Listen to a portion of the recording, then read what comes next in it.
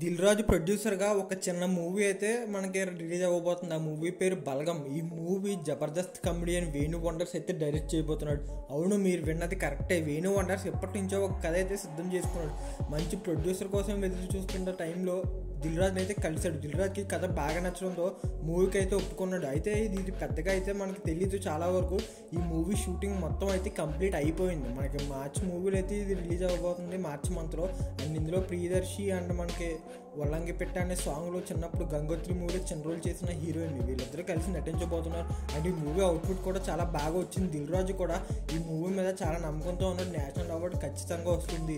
ఇది కన్నడ మూవీ తిదికి అయితే కొంచెం సిమిలారిటీస్ ఉంటాయి కానీ అదే కాన్సెప్ట్ ఉంటే అక్కడ అది కెనడా ఫ్యూచర్ ఫిల్మ్ అయితే అయ్యింది. ఇది కూడా మన తెలుగులో మంచి నేషనల్ అవార్డ్ అయితే ఖచ్చితంగా వస్తుంది. మూవీ అవుట్పుట్ అంతా చాలా బాగా వచ్చింది. ఒక చిన్న బడ్జెట్ మూవీ ఇది. అండ్ ఈ మూవీ స్టోరీ కూడా ఒక ఎనభై ఏళ్ళ ముసలైన చుట్టూ తిరుగుతుందండి అంటే ఆయన చనిపోయిన తర్వాత విలేజ్లో ఎలా జరిగింది ఏంటి మొత్తం ఉన్నది మూవీ అయితే చాలా బాగా వచ్చింది అంటున్నాడు దిల్ రాజు. చాలా నమ్మకంతో అయితే ఉన్నాడు.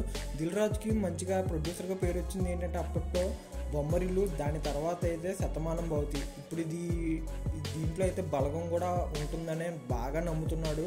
అండ్ పెద్ద పెద్ద సినిమాలు చేయడంలో చిన్న చిన్న సినిమాలు కూడా ఓకే చేస్తున్నాడు. Thank you